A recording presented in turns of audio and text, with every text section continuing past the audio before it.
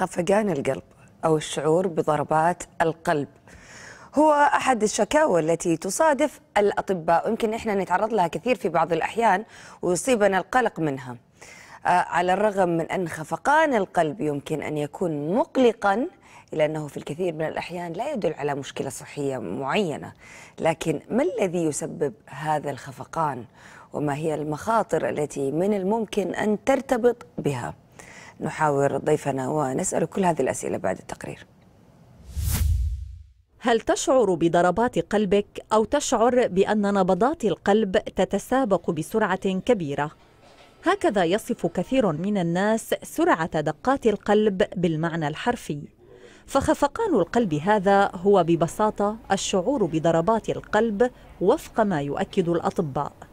وعلى الرغم من أن سرعة ضربات القلب قد تكون أمرا عاديا لدى كثير من الناس إلا أنها قد تؤشر إلى مشكلة صحية لدى البعض وتعد إنذارا يتطلب التوجه للطبيب لأخذ الاستشارة منه.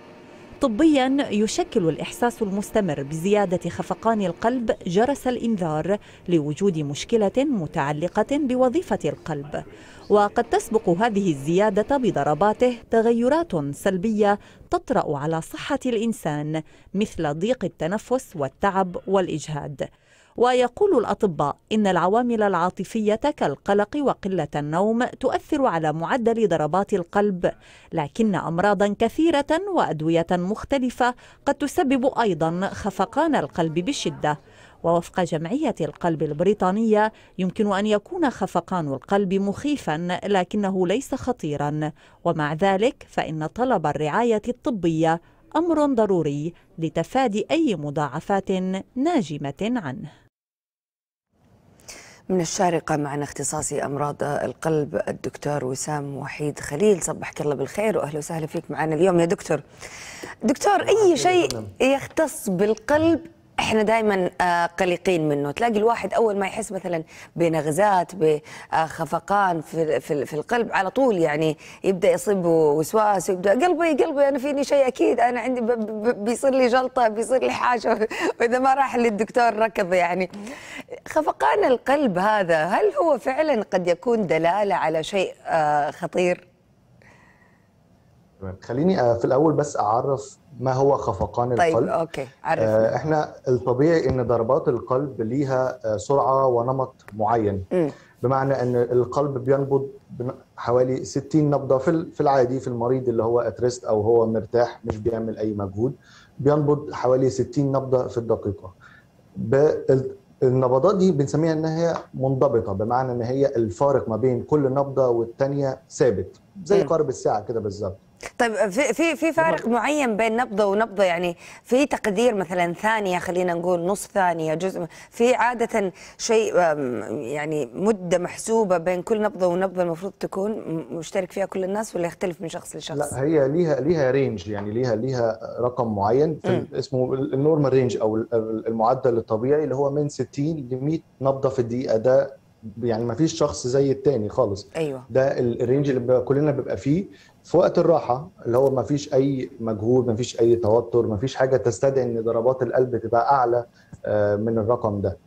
فما فيش حد زي التاني. يعني أنا لو شفت نبضاتي ممكن ألاقيها 60 ممكن أشوف واحد زميلي جنبي ألاقيه 70 فكل ما النبضات بتبقى أعلى شوية كل ما الفارق ما بين النبضة والثانيه بيبقى أقل شوية. والفروق ثواني أو أجزاء من الثانية مش آه مش هنتكلم في حاجات آه أجزاء بسيطة يعني وقت بسيط جدا. فزي ما بقول لحضرتك إحنا علشان المريض يقول أنا عندي خفقان بيحصل اضطراب في حاجة من الاثنين يا إما في سرعة النبضات أو في النمط بتاع النبضات. بمعنى إن يا إما القلب بيحصل فيه تسارع أو تباطؤ أو بيحصل عدم انتظام. ساعتها المريض بيبدأ يقول أنا أنا حاسس بضربات قلبي لأن هو في العادي مش حاسس بيها لأن هي أيوة صح. منتظمة. منتظمة صح. وثابتة. لما بيحصل أي تغيير في الحاجتين دول السرعة أو النمط يبدأ المريض يشتكي يقول أنا أنا حاسس إن في حاجة مش أيوة مظبوطة. أيوه. عاد وهنا يبدأ القلق. طيب دكتور يدل على شيء؟ السؤال اللي أنا أظن كثير من الناس ينتظروا الإجابة عليه. يدل على شيء لما أبدأ أحس بنبضات قلبي كذا متغيرة أو أو ليست على طبيعتها؟ تمام فندم. بالنسبة للخفقان إحنا بنقسمهم هم ليه أسباب كتيرة جدا بس للتسهيل إحنا هنقسمهم لمجموعتين كبار. طيب. خفقان مع إن القلب سليم وليس به أي اعتلال مم. وخفقان نتيجة إن في اعتلال معين في القلب. والسبب الأول اللي هو إن القلب سليم ده في معظم الوقت بيبقى حاجات غير مولئة تماما. بمعنى إن هو إن القلب زي ما بنقول كده القلب ضحية. في تغيير معين في الجسم أو تغييرات خلت إن ضربات القلب تتغير سواء تسرع أو تبطأ مم. طبعا هنتكلم أكتر عن التسارع لأن ده الجزء الأشهر وإن أيوة، أكتر ناس أيوة. بتشتكي منه إن أنا حاسس بتسارع في ضربات القلب طيب إيه الحاجات اللي ممكن تستخلي ضربات القلب بتاعتي تتسرع إيش حاجات كتيرة جدا أشهرها التوتر اللي هو. الاسترس قلة النوم مشروبات ال- اللي زي القهوة والشاي لو مم. لو المريض بياخد ومشروبات بسرعات كبيرة. يعني مشروبات طبعاً، الطاقة الواحد يسمع. قلبه يصير في إذنه من كثر ما ينبض من أهم الأسئلة من أهم الأسئلة اللي بنسألها لأي مريض عنده خفقان بتشرب مشروبات طاقة باستمرار لأن بيبقى في أحيانا بعض الوقت طلبة عندهم مذاكرة عندهم أيوة، امتحانات. فمحتاج يسهر. فبيكون بي- بيتناول مشروبات الطاقة دي بكمية كبيرة جدا فطبعا هي بتسبب خفقان لأن هي فيها جرعة كافيين عالية جدا من الحاجات اللي بتعمل برضو خفقان لو. في حرارة في ارتفاع في الحرارة لو في أنيميا أو فقر في الدم لو في آه، أدوية معينة في أدوية كتير ممكن تعمل خفقان لو لو مريض بياخد أدوية زي مثلا أدوية الغدة.